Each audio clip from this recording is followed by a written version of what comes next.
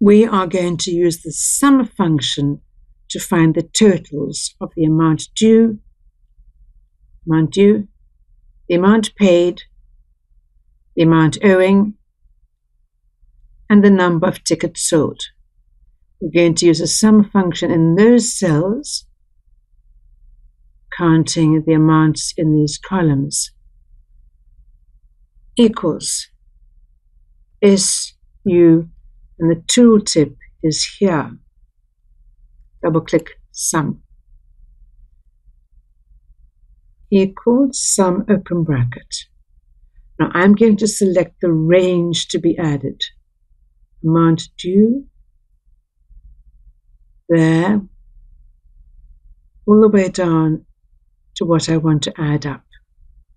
Close bracket, press enter. The total amount paid, we're going to add that column. It's going to go into that cell. Equals sum. I'm going to click there. Equals sum open bracket I'm going to select the range. I could type in E3 to E18, but it is easier to, se to select the range. Close bracket, press enter. The total amount owing equals SUM, open bracket, Select the range to be added.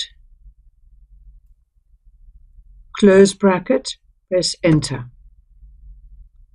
The number of tickets sold equals sum, open bracket, the number of tickets sold, select the range.